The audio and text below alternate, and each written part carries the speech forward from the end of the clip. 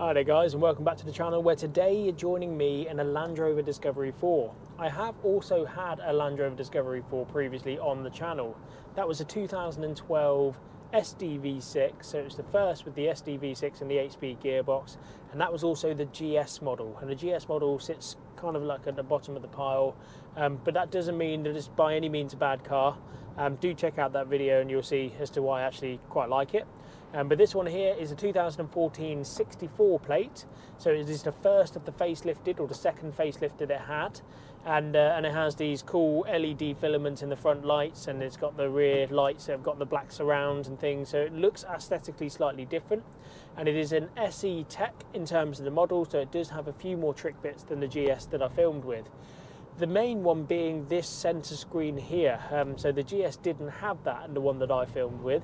And, uh, and I didn't necessarily think that was a bad thing, but it is also nice to have more spec, of course, when you have the opportunity to have it. So with this screen being the 2014, it shares the same type of screen as to what my L494 shares. So we've got very similar type looking menus. It has both Bluetooth for your telephone and also your audio streaming, which is quite a nice thing to have.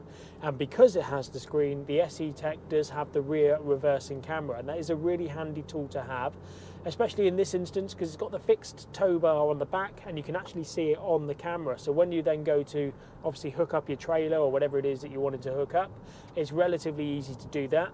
Has the front and rear parking sensors and it also has a couple more trick bits over and above what the SE Tech has and I think they're worth considering should you be looking for a Land Rover Discovery 4. The Meridian sound system that this one has is an additional extra. So it comes as standard on the HSE, but with an SE Tech, it's an additional extra, and it is a fantastic sound system to have. If you really like music, I do think it's worth trying to find one that has it. They all come as standard with the full size seven seats, and that is definitely worth mentioning. If you're looking for a seven seater, they are seven full size seats. And what I mean by that is if you were to look at a BMW X5, I've got an E70 in the showroom, that's why it springs to mind. That one there is a five plus two, so they call it a plus two seating arrangement. And I mean, I'm not the biggest bloke in the world. I'm at five foot nine, and I really wouldn't want to be sat in the back, the back back row of that BMW X5. The rest of it very very comfortable, uh, but I'd be quite happy to sit in the back of this one because they are seven full size seats. So that is really worth having. Has of course the luxury dual climate control in this one here, which is nice to nice and easy to use. You've got your centre dial, which is your fan control, and then your exterior dials on that one there, just doing your temperature control. This one here does have heated seats, which again would have been an additional extra with the SE Tech. Um, it doesn't have the electric memory seat, so that goes one step further. And I actually noticed the difference between the two, because if you have that option with the electric memory function, it quite often has the armrest. And I have to be honest, I'm missing the armrest in this one. It's still a very, very comfortable drive. They've got nice wide seat bases, and it is ever so effortless when you've got this SDV6. But I like having the armrest, and, and I'm kind of missing without it. I suppose my Range Rover has it, and most other things I drive tend to have it. So um, yeah, it may not be for everyone. I know that, for example, my dad he always puts the um, the armrest up. He doesn't like having it, so you know it may not be for everyone. Uh, but I quite like having that.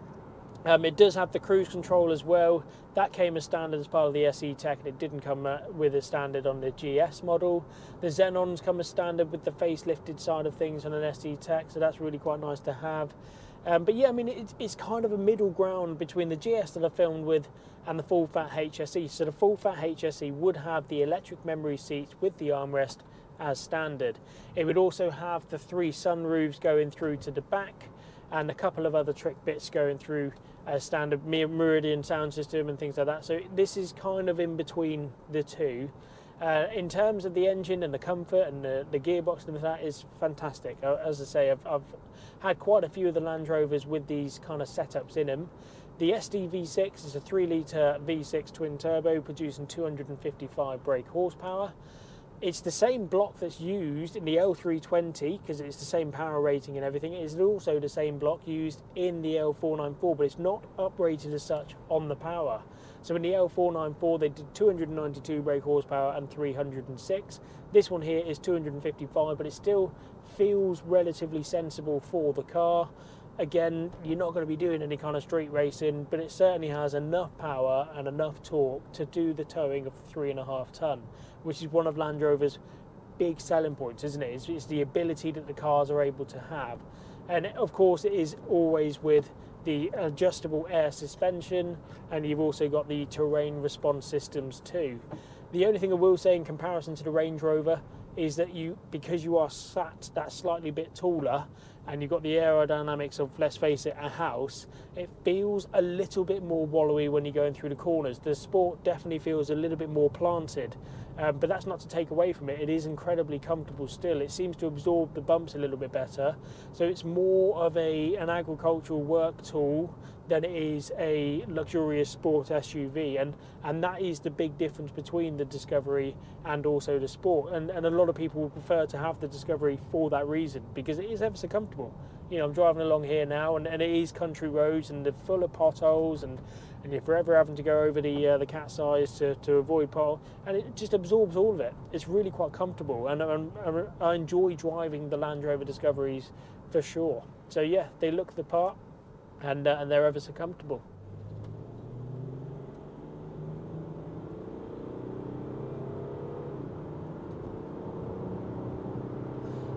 So just whizzing up my little bit of hill that I have here, it's really responsive. It's you know it's as it's not. I'm not expecting it to be as quick as my Sport because that is you know 300 brake horsepower, uh, which is considerably more than this. But it still has enough pickup to to make you feel comfortable when driving the car. And the reason I say that is because I've had bigger SUVs that have only got the two litre turbo diesel engine in it and, and you don't necessarily feel comfortable in it. You, you almost know in the back of your mind that the engine isn't quite big enough or powerful enough to sustain this level of car. Um, but this 3 litre SDV6, I've got no worries with that whatsoever, especially since it's paired with this infamous 8 speed ZF gearbox. It's a really nice gearbox to use, and I've said it in previous videos of mine 8 speed I think is the optimum number with everything that's out there at the moment. And I only say that because sometimes when I've driven the Mercedes with the 9 speeds and even Ford with the 10 speeds, sometimes it's, it's a little bit hesitant. It's almost trying to find the absolute optimum gear because there's too many to choose from. The 8 speed, ever so good, and it does mean that you do get a slightly better MPG than certainly what you did with the TDV6 with the 6 speeds. So on these country roads that I tend to drive often, what have we got here? Uh, da -da. So we've got MPG, just bringing it up on there. The average MPG, I'm doing 29.7. And I think for a vehicle of this size, giving this level of comfort and this level of practicality is not necessarily a figure that you'd necessarily grumble about. The other big advantage with having a pre or post 2014 facelift, I should say, with these different lights, that's the big giveaway as to when it's a 2014 uh, 64 with this facelift, is you get this little button down here which says Eco on it. And you can turn it on and off, and essentially what it does is it turns on and off your stop and start technology that technology is nothing short of annoying in my mind because there's nothing more frustrating than when you get into a junction or a red light and where you need it to just pick up, it doesn't quite because it has to turn itself back on. And a lot of people just don't have confidence in it. So there's a huge amount of people that turn it off.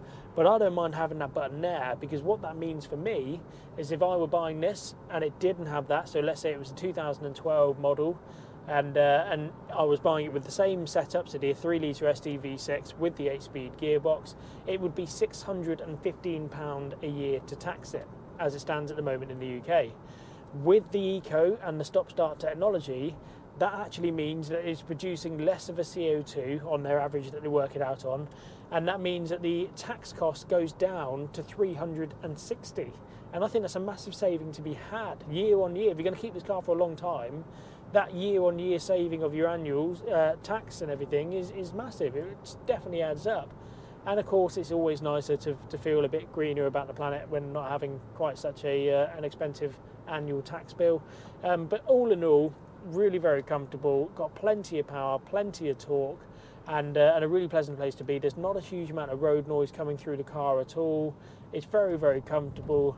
And I think as an SE Tech goes, it has a good amount of spec and you do get that little bit of a saving because of course if you go for the HSE you have to pay a little bit more of a premium for it. It comes with more spec I'm not taking it away from the fact and it's still a very nice car absolutely. Um, but you can get something that's perhaps a little bit newer or a little bit lower mileage with a very reasonable level of spec. So you've still got this media screen you still have the rear camera still got the heated front seats and cruise control but you're not having to pay that little bit more to have the HSE and what I always say with all of my vehicles, and I know in particular with Land Rover, they always have this kind of perception that they're not a very reliable vehicle and that you should stay well away from them. It all comes down to how well they're maintained. I'm not going to say that they're bulletproof, they're by no means are they bulletproof, but I think if you find one that's got a really good service history and a telltale sign such as all four matching Pirelli tyres or at least tyres that are matching on each axle that are branded quality tyres that Land Rover would want you to put them on. So for example, if you've got Pirelli tyres or Michelin tyres, and I think if people are willing to spend the money on the car and maintain it to a standard, and you find one that's been really well cared for, I think you're in for a winner. I mean, this one here back in last year had like near enough £1,900 spent on it because it needed new front lower arms, which are quite a common thing to need it, but they are big, heavy vehicles to have on the road and especially with all these potholes and stuff. So don't be surprised if you have to do lower arms. It's also had a new aircon compressor, had disc and pads all around, and along with a full service as well. So I think, well, if someone's done that as their everyday car and they're willing to spend the money on it and you, you've got evidence of it, you can't really go far too wrong. And as most other people do when they when they're doing a review of a Land Rover, if you've got a little bit of a kitty with some funds in it to fix whatever goes wrong, you're in for a really pleasant driving experience. That's for sure. I really hope you enjoyed watching this uh, this YouTube video and please do not forget to like and subscribe to the channel. It really does mean a lot.